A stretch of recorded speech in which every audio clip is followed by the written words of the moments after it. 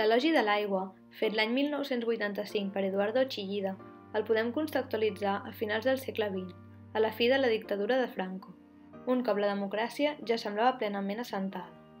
Espanya es trobava en un moment de creixement demogràfic i econòmic. El mateix any que Espanya va signar el Tractat d'Adhesió a la Unió Europea, Chillida va realitzar aquesta escultura, com a encàrrec de l'Ajuntament de Barcelona que estava preparant els Jocs Olímpics de Barcelona del 1992. Eduardo Chillida, nascut el 1924 a Sant Sebastián, està considerat un dels millors escultors contemporanis. Abans de ser escultor, Chillida va ser porter del Reial Societat, però ho va haver de deixar a causa d'una lesió al genoll. Als 19 anys va entrar a la Universitat de Madrid per estudiar arquitectura, carrera que va deixar per ser escultor. La seva obra abstracta i molt personal, tant en ferro com fusta, formigó o alabastre, s'adapta perfectament al seu entorn ja sigui urbà o natural, tret destacat de xillit. L'elogi de l'aigua és una gran massa de formigó formada per un cos central del qual surten quatre elements corps que recorden quatre urpes.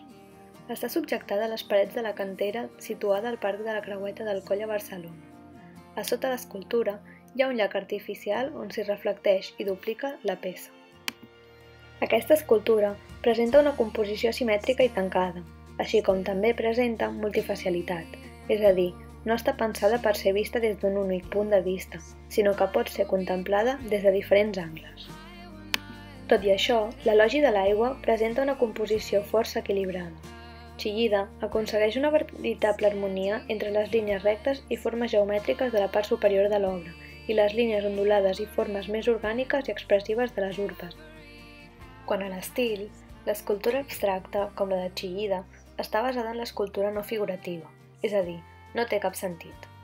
L'escultura abstracta es basa en la tridimensionalitat, recolzada en els recursos tradicionals de l'escultura, com la textura i les formes geomètriques. Altres característiques que destaquen en l'extracció és el moviment i la llum, més predominants, per exemple, en l'art cinètic. Alguns dels escultors abstractes més importants són Henry Moore, Constantin Brancusi o Richard Serra. A Espanya, l'escultura abstracta es va fer més important en el període d'entreguerres, especialment en l'Espanya franquista, on destaquen escultors com Pablo Palazuelo o el mateix Chiguida.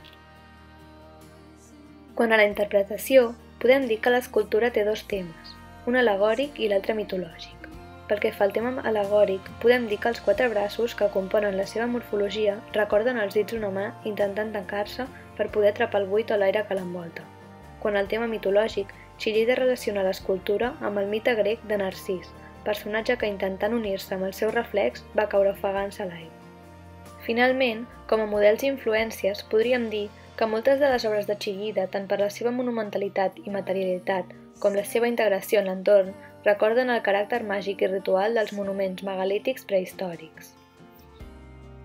Finalment, Deixo una seqüència de fotografies que mostren la col·locació de la Pinta del Vent a la platja de Sant Sebastián, on està avui en dia, per tal de veure com Xillida s'amotlla a l'entorn i a la situació que té.